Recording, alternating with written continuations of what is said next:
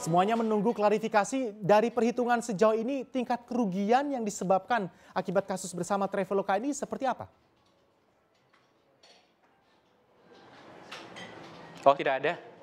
Tidak ada kerugiannya sama sekali karena bagi kami mereka adalah mitra kami, bisnis bisnis partner kami, ya kan? Seperti halnya travel agent yang lain, tapi kan ini kan online ya kan, makanya namanya adalah OTA atau online travel agent.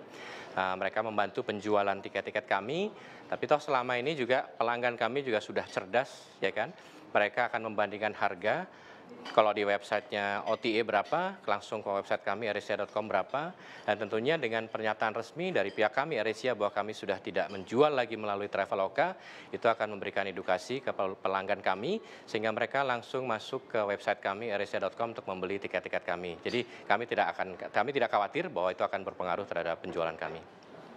Jadi tidak ada potensi kehilangan pelanggan secara signifikan ketika kejadian kemarin terjadi Pak Dendi? Betul, betul.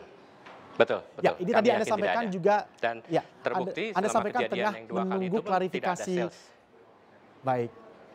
Anda sampaikan tadi ini tengah menunggu klarifikasi dari pihak Traveloka. Adakah semacam deadline atau period of time sampai nanti akhirnya diputuskan final desisinya seperti apa sambil kita tunggu klarifikasi dan goodwill dari Traveloka?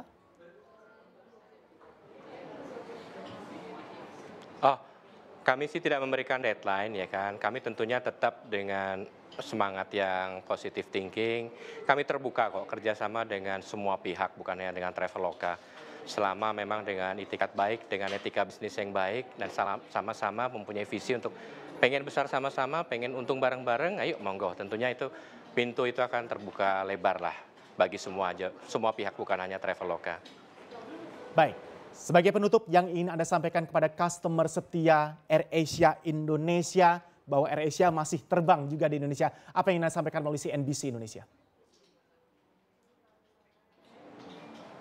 Oke, buat seluruh customer pelanggan setia AirAsia, uh, jangan bingung kalau sudah tidak ada di Traveloka, bisa langsung ke website kami airasia.com maupun mobile apps kami.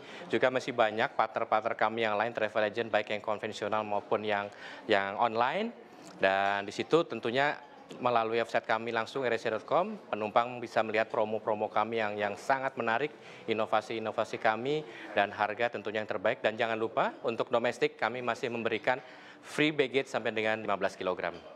Terima kasih Pak Erwin. Terima kasih banyak Dendi Kurniawan, Direktur Utama AirAsia Indonesia, first on CNBC Indonesia.